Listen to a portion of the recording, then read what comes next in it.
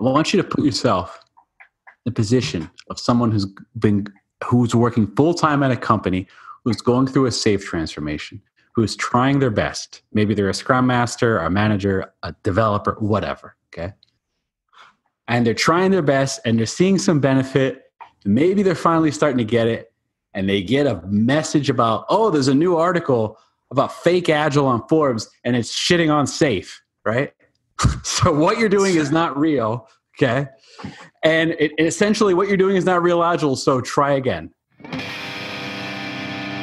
Hi, this is Martin Fowler, and you're listening to the Agile Uprising.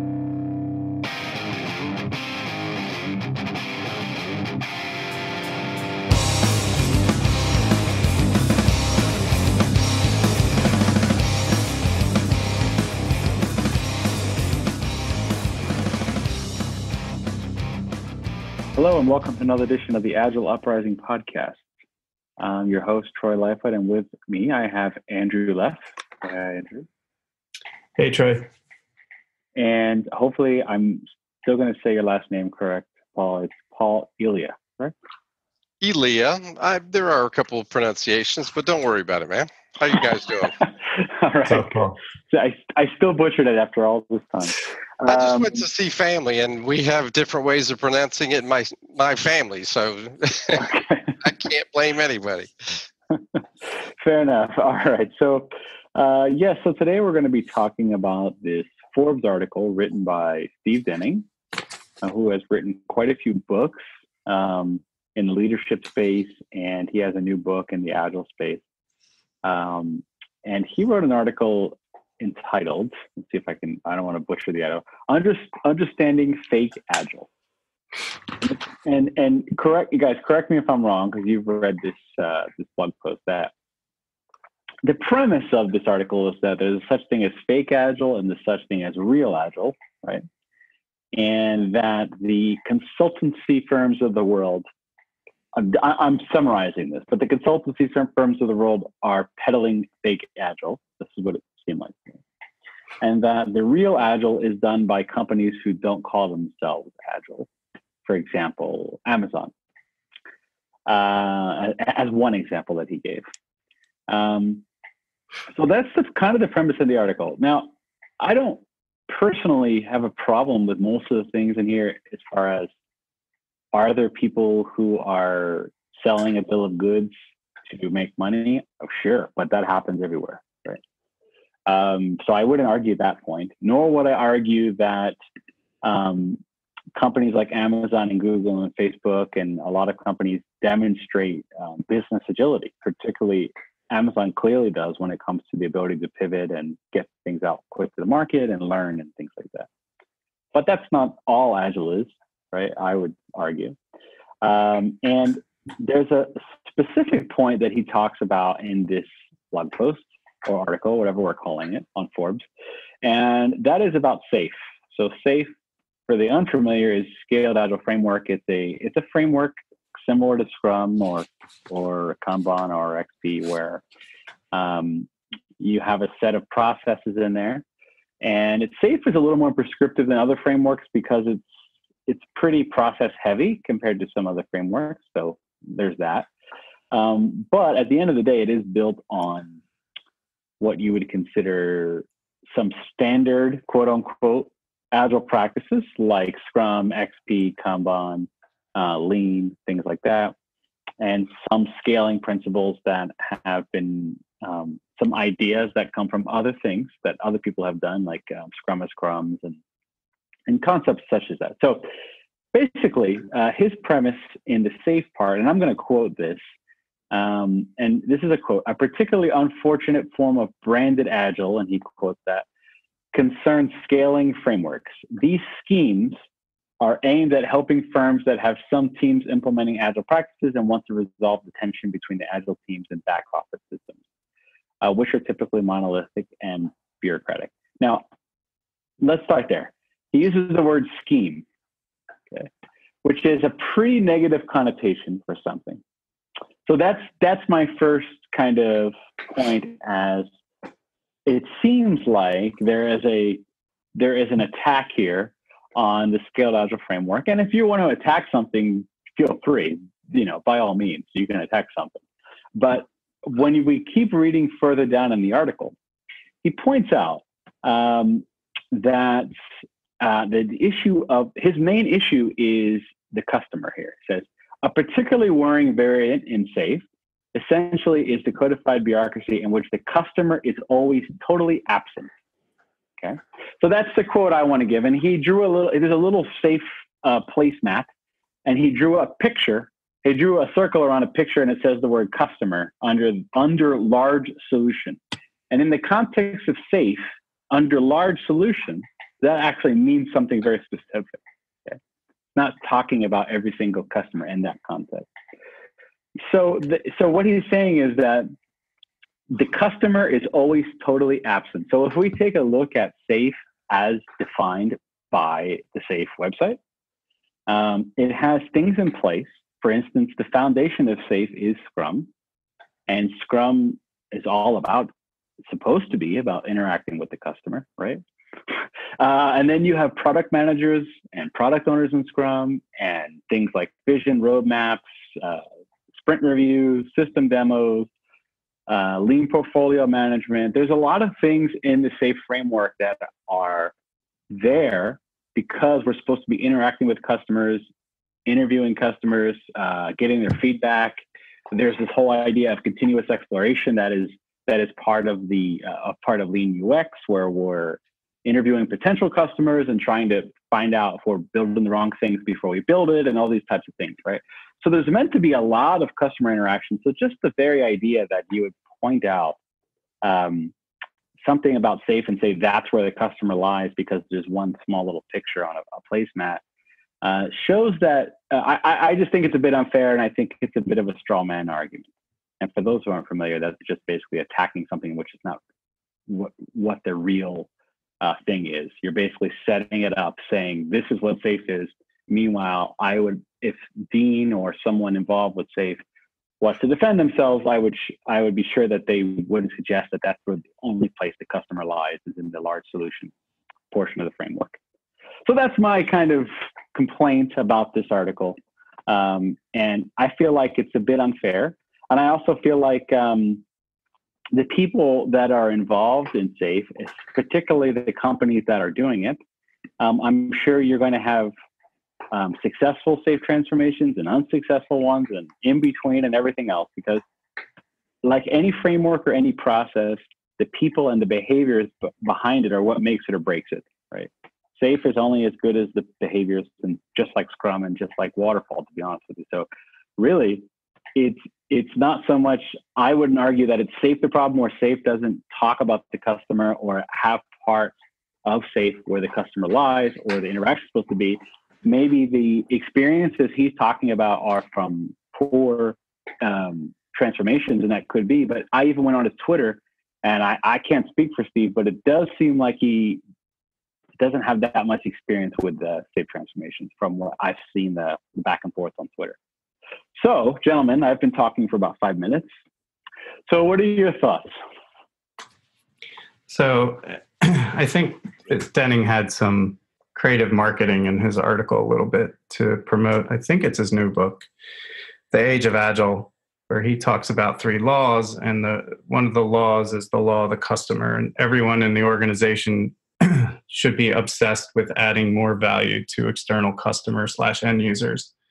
So he talks about, about that a lot. Um, so there might be some propaganda in the article. Now, I, I don't disagree with a lot of what he what he's stating because there is no single bullet or silver bullet strategy. Um, I don't necessarily agree fully on his safe point of view. I think there's flaws in all the frameworks, just like there's flaws in in waterfall, RUP, whatever you want to, whichever direction you want to go.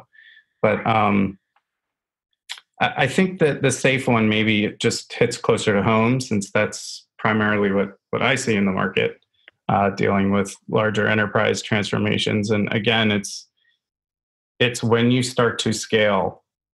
You know, is it are you scaling too fast? Are you jumping too fast? Do you have it fully defined where you want to go and why you even want to scale? What what's the value trying to be delivered? Have you prepared the organization for the change? So a lot of these things are never truly vetted out. It's it's really just you know shotgun you know pull the trigger and shoot.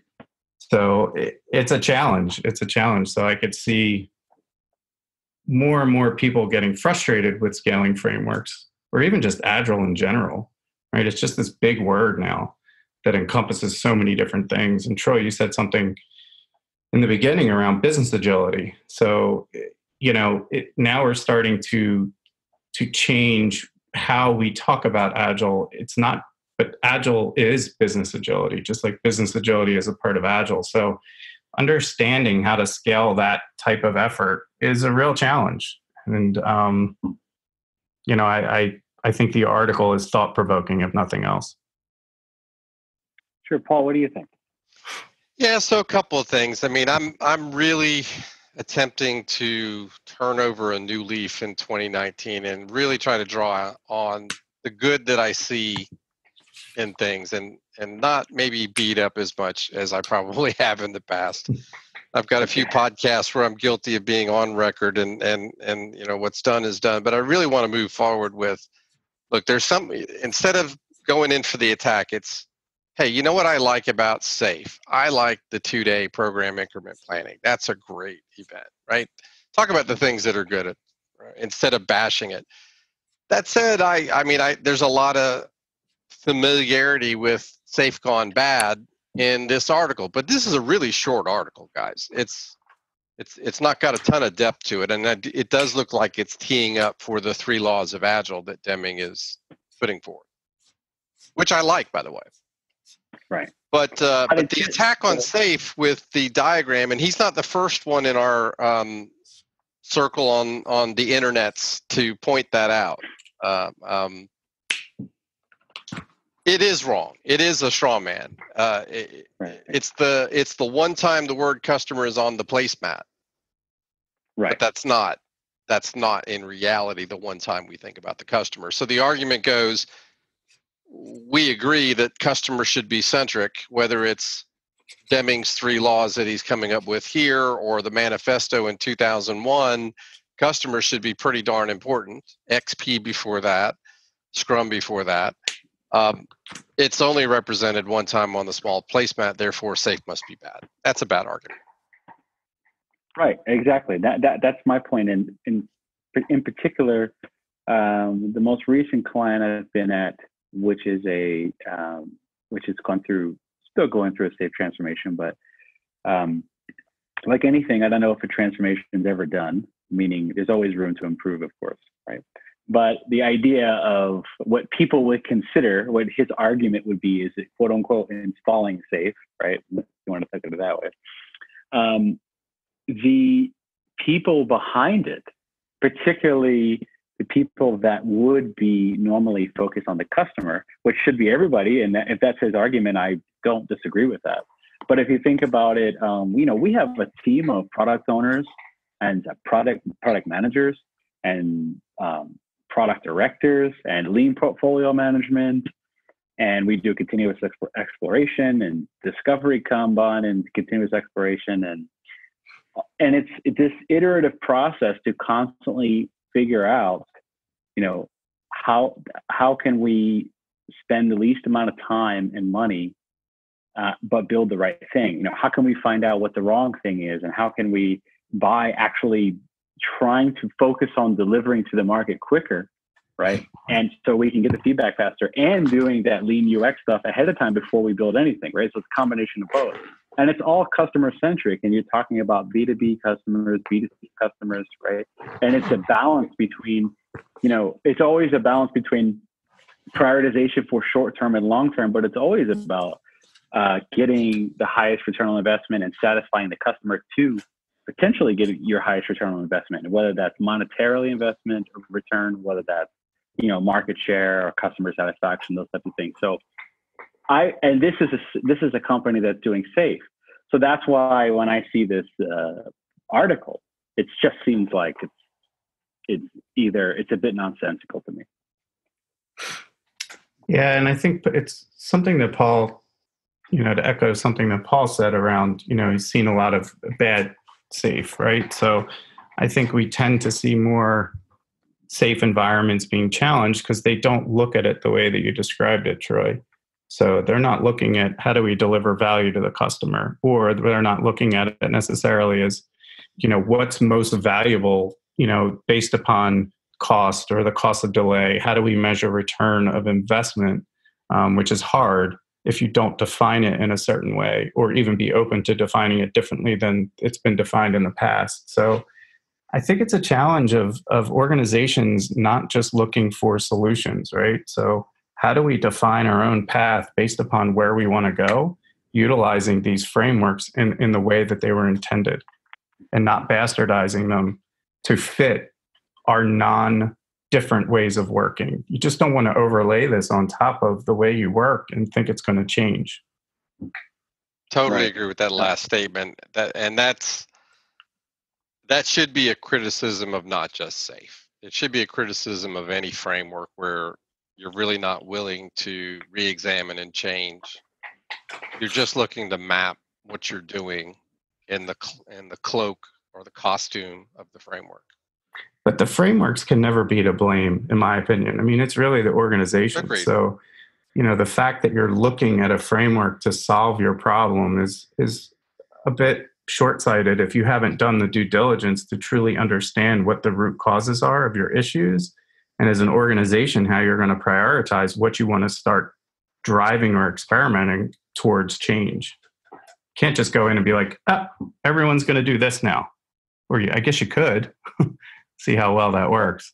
Well i think if you haven't seen it i'm sure you have. I mean i would like to think we all have seen it. Uh, the top down we've bought a uh, canned solution be it safe or otherwise here's what your new title is, here's what your organization structure now looks like. Uh, oh, no input, big surprise. That happens. Yeah. Well, let's take it. Let's take let's descale for a second here. Okay. Descale. So Scrum is like 17 pages. Uh, the Scrum guide. Right. Now, how many times have you guys seen Scrum teams? Okay, who don't to what's in that 17 pages. okay, let's start there. of the time. okay. 100% question, of the time. The question the is, it, the question is like, is it really that it's that hard to understand? Well, I, here's here's what I mean because I'm making a bigger point about state that I I it's either it's either a few things I think. One, there's maybe some laziness when it comes to like no one wants to really understand what the heck the Scrum Guide is talking about. Like, there's this idea that we're going to learn it vicariously through somebody else or through osmosis or through a couple YouTube videos. I don't know. And then go try to implement it without actually. So many times I've talked to Scrum Masters and I say, Have you read the Scrum Guide? And like, most of them haven't even read it. Like, how could you be a Scrum Master and not even understand the basics of what you what a Scrum Master, like the basic process? It's just a little bit like it's weird to me. So if you if I say, hey, that's one agile framework for one team, right? That most people don't follow. And then scale that up to this placemat. And the safe website is like hundreds of pages. Okay? Right. It's no surprise. It's no surprise that if people don't even want to actually try to do Scrum correctly, and Scrum, let's be honest, according to this placemat, is the foundation of SAFe because the foundation of SAFe is agile teams and the most popular framework is Scrum, right? So if the most popular framework is which is the foundation which we're meant to be scaling is Scrum, and people don't even do that correctly or don't even attempt to do it correctly, which is a lot of cases that I've seen, then how could we possibly expect uh, something as large and complex as SAFe is going to be implemented correctly? So let's maybe we can get to talk about that for a second. The root cause of this. so, as far as I don't really think it's safe, is what I'm saying, and I don't think it's Scrum either. There's some root cause going on here that's like I remember, you know, people would study for their PMP and they would rem- they would memorize the PMBOK inside and out, right? But nobody does that with the Scrum Guide. it's a really interesting. I don't know. It's a. It's. What do you guys think? Well, to be fair, I, I've got the PMP certification, and that exam requires memorization of the damn book, um, versus a CSM or CSPO, just you know, it's not even on the same level of of difficulty of a test. Um, but just memorizing uh, to pass that test versus day to day PMP back when I did Gantt charts. Uh, no, nobody used the entire framework of that either. Yeah, but I also think that um, when you're moving into a scaling model, let's let's just say your your Scrum practice is crappy as well, but you decide that oh, we're doing things different. Let's scale.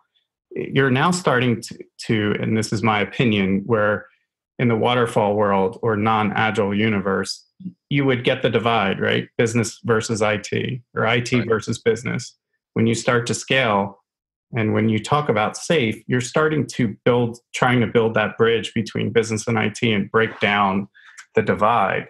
So you start to clash and there's not a partnership there. And I don't think safe, it, it, it doesn't help people understand that there's that's the partnership or spends enough time in that area. And I know it's sprinkled throughout, and I've done enough uh, safe implementations, which I don't even like to say, but transformations to to last me with quite quite a bit of white papers under my belt. But um, I do think that that is a gap, right? So how do we bridge the the business versus the IT mentality, and and, and allow them to create together and strip that you know those verticals away and just say we're a team right just like scrum it's the team. What's our team agreement? How do we choose to work?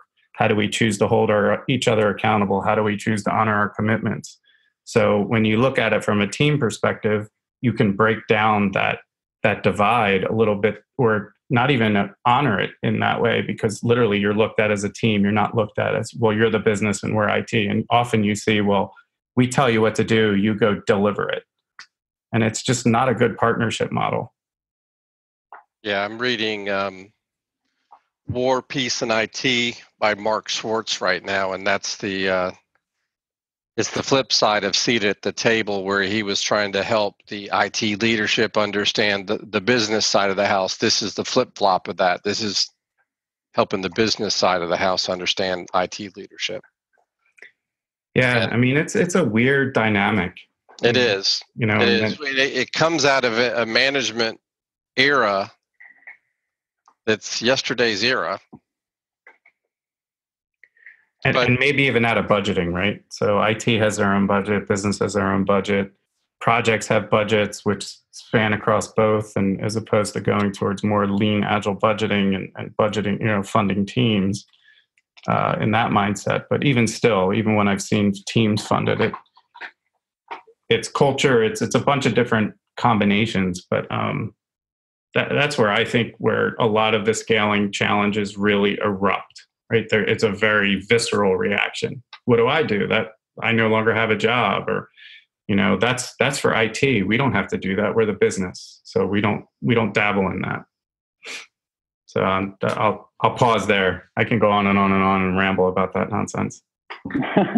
Well, I got I got a quote. I got another quote here from the article, and it says, "My question would be, why would anyone with a genuine agile mindset be using SAFe in the first place?" I just I've definitely run into people who think that, that, but but they, to be fair, I don't think they've actually tried it. They haven't studied it. Um, that's what I mean. That's yeah. my issue with this. Is that if that's the case, but you're writing for Forbes, right? That I just think it's it's not. I, I think if this was coming from a place of deep experience with SAFe, then I would say, okay. I mean, I can't. You know, that's your experience, but it does seem like this is a little bit questioning why would anyone with a agile, agile mindset be using SAFe in the first place and drawing a, a circle around a picture of a customer. So I, I would I would answer that question with, well, SAFe um, as defined on the website, okay, uh, its foundation is lean and agile.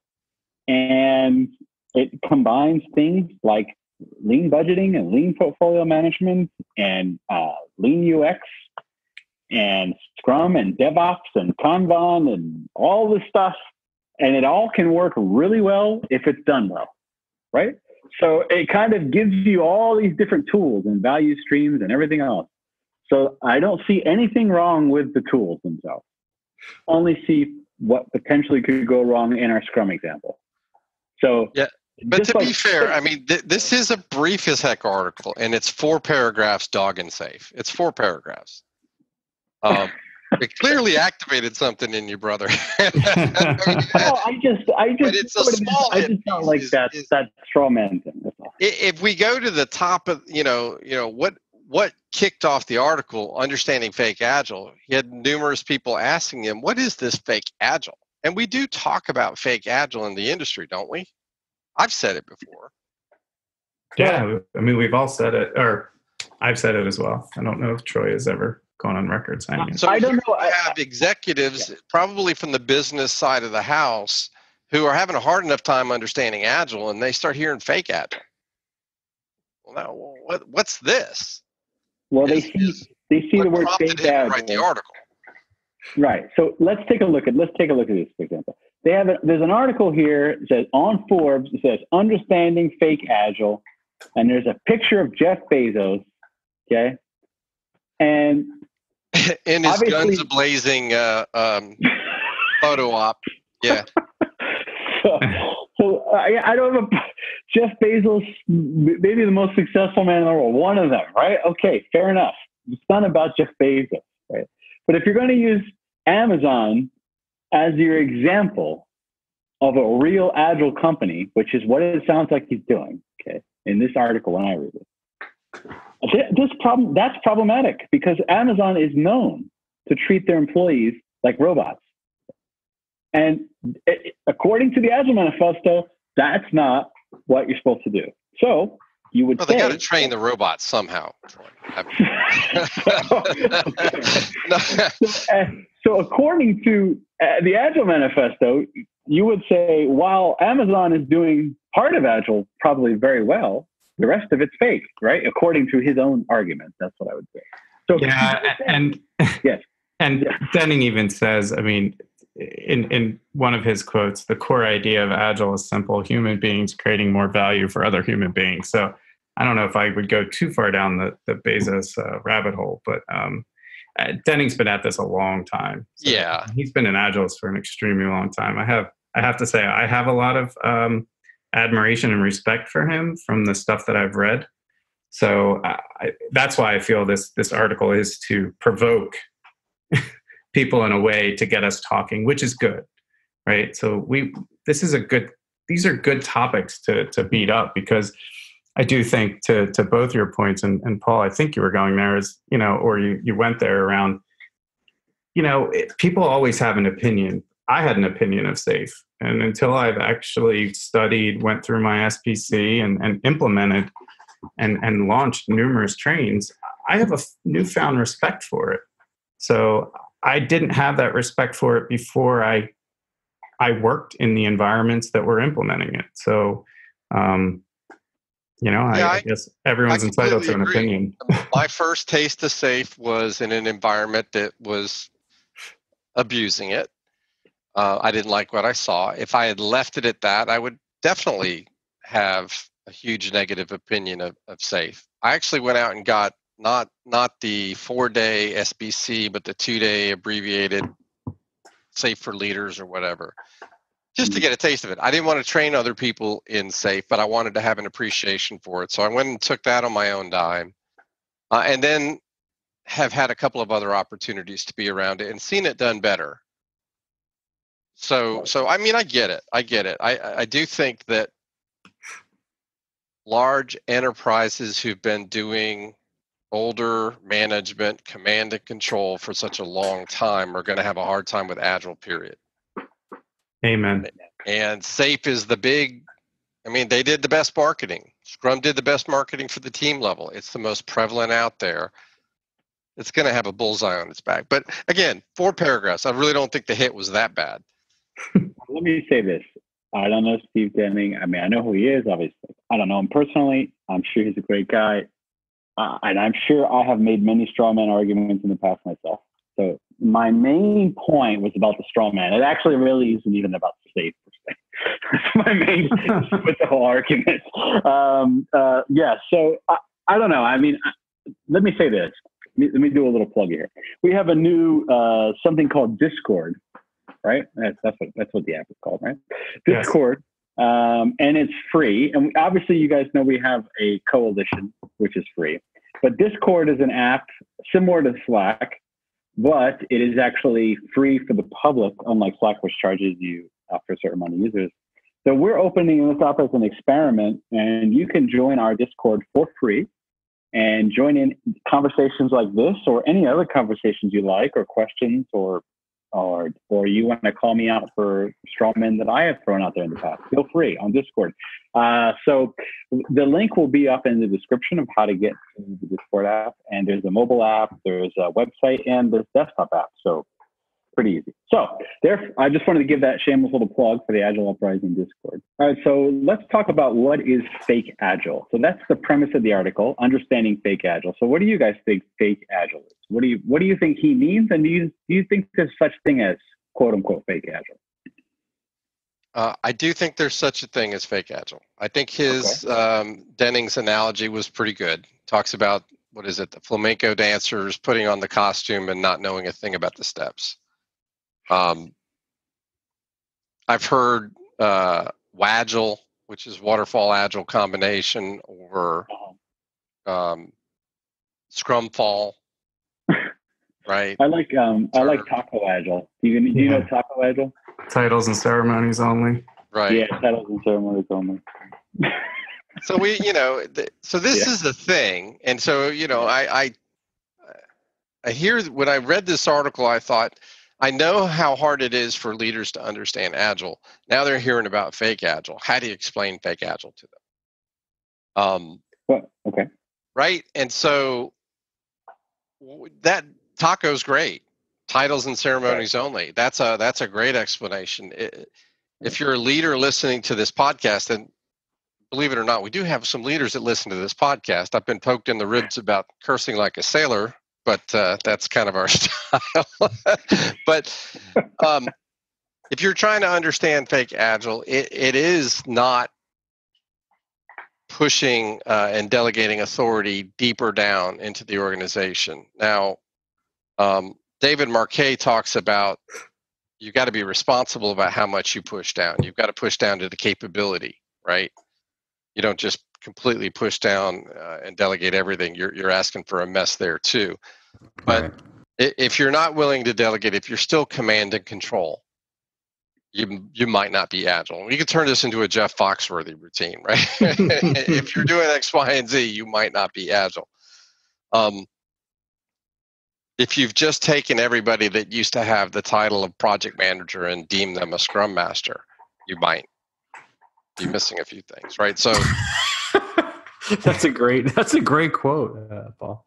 I think you win the podcast. This is no. I'm not. You know, I, I, I want to take seriously that. Uh, first off, Denning is somebody who who I do listen to on a lot of topics. Um, he's um, he's got a lot of good things to say. This is a kind of a hit article in there on on SAFe. That's that's a bit unfair. But the the challenge of how do we explain fake agile to our customers and the leaders and the organizations that we consult to, it's hard. How do you know whether you're doing it doing it justice or not? All right, I'm going to give a really simplistic answer, and maybe this is just me being simplistic, and that's okay. Step back from the Scrum Guide, which is 17 pages. The Agile Manifesto is two pages. It's it's 12 principles and four values. Damn it, Troy, you took my thunder, man. I was I was holding on. You stole my thunder. Right, chime in. No, no. so intellectually lazy as a society that we cannot read two pages and look at that two pages and say, are we doing this or not? If the answer is no, then we're not doing Agile. I mean that or we're not being Agile, I should say. So I don't know. I think we overcomplicate this stuff way too much. exactly. And I think that even before you you dig into the manifesto, it's it's what do we want to change about the way we work? What is important for us to do differently? So taking taking the leap of faith that wow, we can't continue to do things the way we have been. We're going to have to change at some point. So how do we live within the constant cycles of change, but organize around work differently? So, and that's where to me the manifesto fits so perfectly, right? Even just the four four statements of the manifesto, eh, you know, don't even look down to the principles. Those four statements just still ring true today. And it's so important to, to think in that way, in my mind, to even become more agile in, in your thinking and within the organization. Because you've heard me say this stupid quote, you know, companies aren't agile. So we have to focus on making people agile. So the more, you know, focus around making our people agile, the more agility we can achieve within the organization. Yeah, that's a great point. And I, will say this one of the things I do when I work with new teams or do team resets is we do a deep dive into the manifesto and we do um, principles as metrics. And essentially, we we kind of assess ourselves, or the team assess themselves on how well they're doing at each principle after they understand what the principle means, right? And you can use that as a barometer for improvement uh, short and long term. You say, how do we get better at principle one? How do we get better at principle four? We're weak in these areas, right? So, uh, to me, that is something that is is pretty powerful for a team and an organization. Imagine if you had leadership doing something similar to that, right? So we we talk about you know interfacing with customers often. We talk about or on a daily basis, right? We talk about delivering continuously early, right? uh, with high quality and, and and and good design and those principles and sustainable work and trust and motivation and all these types of awesome things that are in the agile manifesto yeah it seems like you know 2% of people have read it so no, that's yeah yeah well I, I do think for if i'm a chief marketing officer that the manifesto may need some discussion that the reading the two pages isn't, isn't going to drive it home. Sure. but sure. I, I do like one way to answer is fake agile going on here is is use the principles behind the manifesto as metrics. Right yeah. Um, that's pretty good. I like that yeah but not everything's a delivery project right? So if you're trying to achieve more business agility and you're focusing on the business side of things i think it's important to understand how we how they navigate change as well as be innovative and and not fall upon the risk adverse you know pitfall that that we can't change because these are the things we have to do because they're written in somewhere that we were told to do them and we've been conditioned over x amount of years to to follow the rules so i think there's a there's two parts of that. I mean i love the the principles as as metrics. I actually i've never thought about that before so to me that's quite genius troy. Um, but it doesn't it doesn't span. So I think this is where, and I may get kicked in the teeth for saying this, but I think what we're talking about and, and something you were talking about, Troy, specifically around teams and how do they measure and how do they know they're doing things in an agile fashion, it's hard to scale that. And I think that's where the trap becomes is like, okay, now we have a, one or two teams running effectively, you know, however they're measuring themselves differently and now we want to you know roll this out in the next six months to 4000 more people With, and that's right. where SAFe comes in right so not to thread it back to SAFe but i think it's not it's not understanding that these pockets are happening how do you harness the good out of it but also talk about the challenges getting there. It wasn't just overnight people started to work differently and started to show progress or gain efficiency or optimize whatever we want to buzz call it. But literally what what was the process? How did they how did they feel? What was the reaction? What was the resistance? How long did it take? What you know what changed someone's heart to open up their mind? Who knows?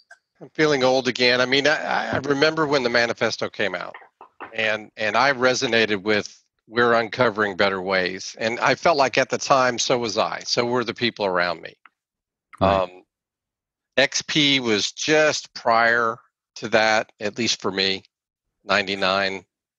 Um, if there was buzz about it before 99, I wasn't hip to it. Mm-hmm. Um, I was doing a variant of Spiral. I actually thought I invented it didn't realize it was probably deeply seated in my brain from college, and I just hadn't had the chance to use it until '93. Okay. Um, and I do think that that my the way I thought the world was in 2001 is we were pushing back on projects and Gantt charts and asking for predictability in an unpredictable universe and saying, look, th- there's a better way to get an outcome that's going to be good. Uh, it, it definitely involves working with the customer and collaborating. Um, it involves doing things smaller, not trying to, you know, you fought so hard to get X dollars for the project. Let's throw in everything but the kitchen sink under that budget, and and let's keep everybody engaged and and uh, keep doing small value stuff. Uh, no, right? So I don't know. I, I feel like I just tangented somewhere. Sorry about that. I, I, I I'm just like the manifesto itself was 18 years old right that's 18 years ago and and that's how i felt at the time and it's still a good work but i do think we have done some improvements since uh, Hmm. i'm not pointing at anybody's particular shtick i mean it's big business agile at this point but um, the manifesto isn't the end all be all of agile at this point either in my opinion No, and I think I don't know if I, I'm going to talk for Troy, but I think it's a good, great starting point, and then also it's a great place to bring things back to center. Right? Why? Let's re, you know re-level set or let's review these again and see how we're either honoring them or not, or have we totally abandoned it? You know, to me, the whole fake agile thing is eh, you can't be a little bit pregnant. So either you are or you aren't. So either you're going to go down the path of agility and you're going to learn as an organization through constant inspect and adapt cycles and, and literally retrospective activities and, and prioritizing changes within the work that you're doing and focus on that as an organization. Because to me, the customer also is the organization. So that's another customer in your in your cycle. So not just external, but the internal customer, meaning the company. So Well, I'll give you guys my, my last thoughts on this. So something going on in the background here. Okay. Okay. Um, my last thoughts on this. So going back to the article, we could criticize SAFe or Scrum or DAD or LeSS or whatever framework, right? Whatever certifying bodies, we can criticize everything because it's easy to criticize other people the end of the day, everyone's selling something. Okay, so meaning you, me, everyone in this call is selling something. Okay, meaning we're selling our services to make money, and so is Scaled Agile Framework, and so is Steve Denning. Okay, everyone's selling something. What I will, my, I will say this: there's no way that there's you can say this is what the SAFe guide says. We're going to implement it just like it says day one and everything is going to be good okay? That's not how the world works. Same as we're going to do a hodgepodge of different scaling frameworks and use a meta framework and we're going to install this too and we're going to do there's no one right way to do anything. And at the end of the day it's all about meeting people where they're at okay?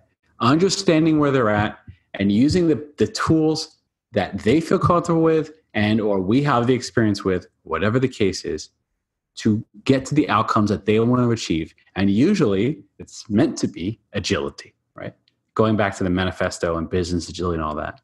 So this to me this idea of saying that this framework is is dark or this framework is not real agile and blaming this to me it's all it's just that my argument for this whole podcast is not the right path. So no i agree with you troy. Yeah it, it's it's not the positive path forward. Yeah. and one last example. I've always been against playbooks i think i thought you said you uh, you've always been against playboy i was going to say we have to edit this No. too or no my bad i'm going to give you a real life example okay I've always been against playbooks. The idea that you would write something out on a piece of paper and say, "Go implement this," and then that's supposed to solve people's problems. Okay, and essentially that's what the, if you think about it, that's what the Scrum guide is and the SAFe thing is. It's essentially a giant playbook. Okay, so but I've been asked at pretty much every place I've been to write playbooks for things. Okay. And usually I resist at first because I try to say, let's just work on this together. But, you know, going back to, I'm going to really bring it back to a previous podcast. Going back to uh, spiral dynamics is something I try to utilize is that, you know what? For some, in some circumstances, maybe writing a playbook is really beneficial for that person or those people and maybe they read that thing and they're like, yeah, I, I, think I know how to do it now. And they go try it and then they iterate on it themselves. Who am I to say that writing a playbook is wrong? That's what I've I've I've learned that. Okay. So my point is it's not it's not there's no one right way to do anything. And it's and I I just find the concept of calling things fake agile and real agile as as though we are the arbiters of truth around what agile is essentially agile is defined in the manifesto. If it's living up to that it's real. If it's not it's not. Regardless of the framework or somebody who's trying to sell you something. That's my last piece.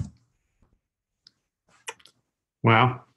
I'm not i'm not sure i can follow that but um yeah I, I yeah wow troy kudos. Well well said.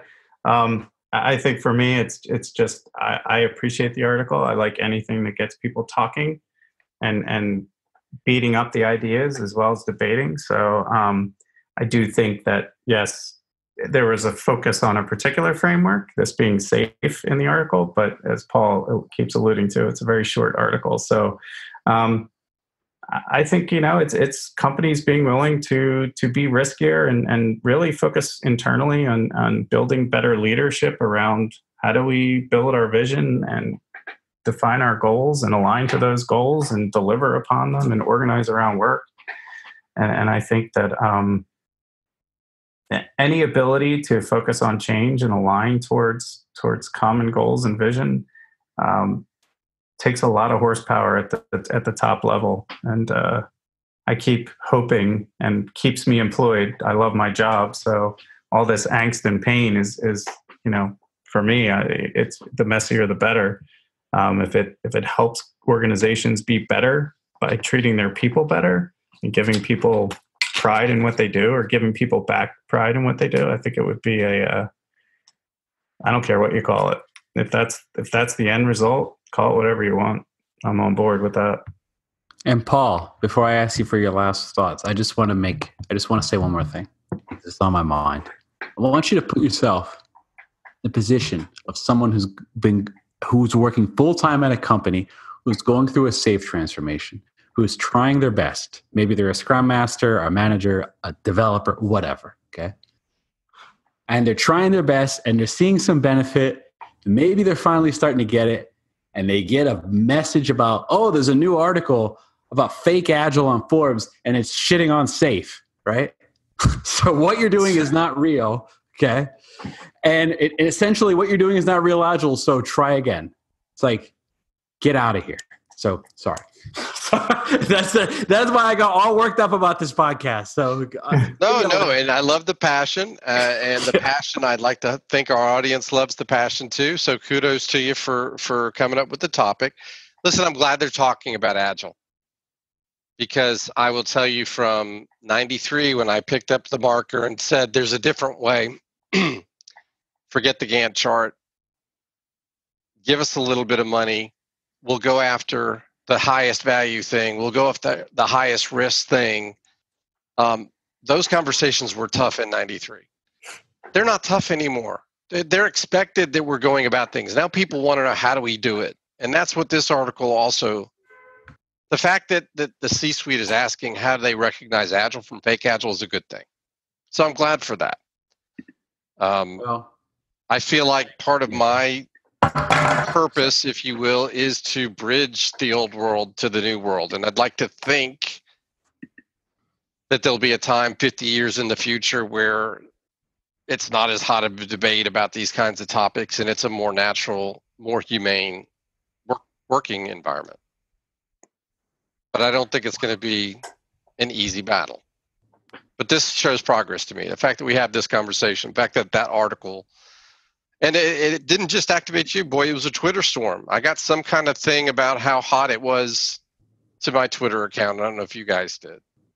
Uh, yes, it was. It was a Twitter storm. I, I read it, and then I was like, "Wow, we should do a podcast on this." So I'm glad for that. Good. Let's keep talking about it.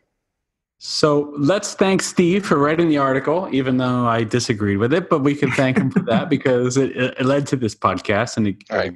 A good discussion. And and I'll even plug his book. I think he has a book. It's either coming out or it's out called The Age of Agile, maybe something like that. Yeah.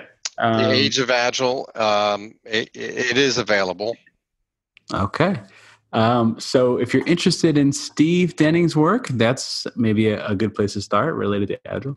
So, um, well, thanks, guys. I appreciate uh, your time. Any anything you want to plug anywhere that we can people can reach you?